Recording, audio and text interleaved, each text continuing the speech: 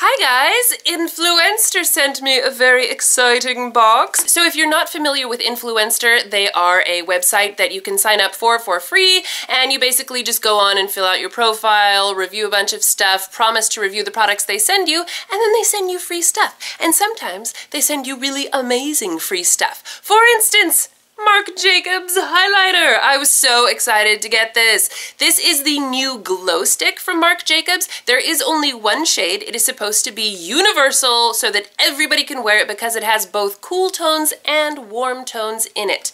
When I first got it, I was like, oh, that's a cute little deodorant tube. That's nice. That's interesting. And I just swiped it right on, and that was a little much. I do not recommend applying it that way. You certainly could if you want Jupiter and Mars to see your highlight. Uh, absolutely. You could also, and this is the way that I think I actually prefer it, do it with your finger to get a wonderful, slightly more subtle glow.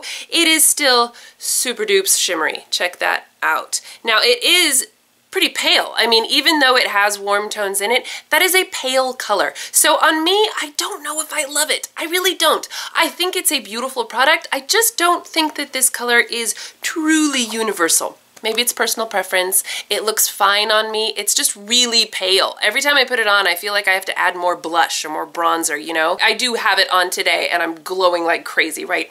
I kind of put a lot on, but I wanted you guys to be able to see the color and how intensely shimmery this can be. And it is really beautiful. It really, really is. I love that it has both warm and cool tones in it.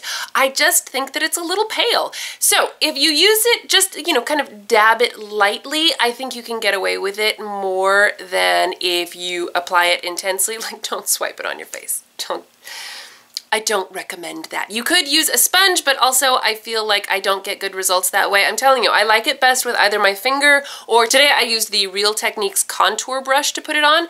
And, you know, I mean, you can see that's, that's a lot. But I think that it does apply nicely. And for a cream product, it blends out so beautifully. Even on top of powder products, it just blends gorgeously. Well, I'm telling you, it is a beautiful product. I just don't know that I love it for me. And obviously being Marc Jacobs, this is going to be a pricey item, but you do get a lot of product, and unless you are swiping it on like a crazy person, it will last you a while as well. I really do hope that they come out with more shades, because if they came out with a darker, warmer tone, I would totally repurchase this because I think it's really, really nice.